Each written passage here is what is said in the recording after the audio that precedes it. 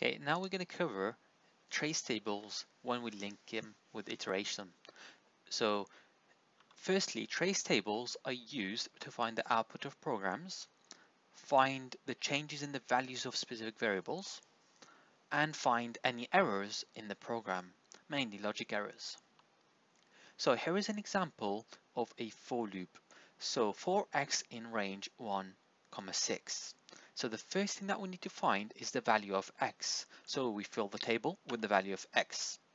So x starts with 1 because the range is 1 comma 6.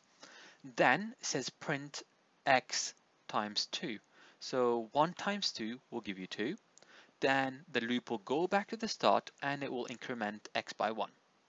So x will be 2, then 2 times 2 is 4, then x will increase again to 3, and 3 times 2 is 6, then x will go back to 4 and increase by 1 so it will be 4 and then 4 times 2 is 8 then it will increase one more time to 5 and then 5 times 2 is 10 and this is an, a simple example of a trace table. So you just fill all the values all the changes in the values of the variables and the outputs as well. So whenever you have a variable changing whenever you have an output you need to fill it in the table here is another example. So we got for x in range 1, comma 5. So x will start with 1 in this case. Then it says if x is less than 3. So is x less than 3? Is that true or false? Yes, that's true because 1 is less than 3. Then it says print less than 3 because it is less than 3. So the output will be less than 3. Then x will increase by 1, so it goes to 2. Is 2 less than 3? Yes, that's true so it will print less than 3 again. x will go to 3.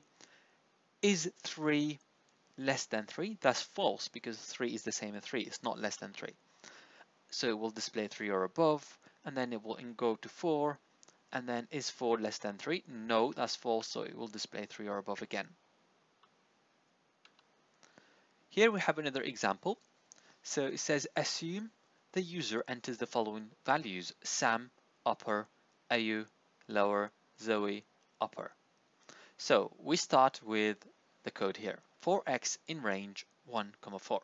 So obviously x will start with 1. Then it says choice. Choice is equal to input, enter word. Now whenever there's an input, we go back to the question to the top of the question. It says the first input is Sam. So we need to put Sam for choice. Then the next input, so case equals input. So that's another input. So we go to the top of the question again, upper because that's where um, the next part of the question. And then now we have choices Sam and cases upper. It says if case is equal to upper, print choice.upper. So this will print the choice but in uppercase because the upper function forces the um, variable or the values of the variable in up to uppercase. So this will this, the output will be Sam all in uppercase. Then we go back to the start. X will increase by one. So the next value is AU because that's the choice. And then the next case is lower. And the so it will say if case is equal to upper, no, that's false because a case is not upper, it's lower. So we go to the else, says print choice dot lower. So choice dot lower will print the value of choice but in lowercase. So AU will display it in lowercase. Then we go to the back to the start of the loop. So to three, x will increase um, from two to three. Then the next input is Zoe.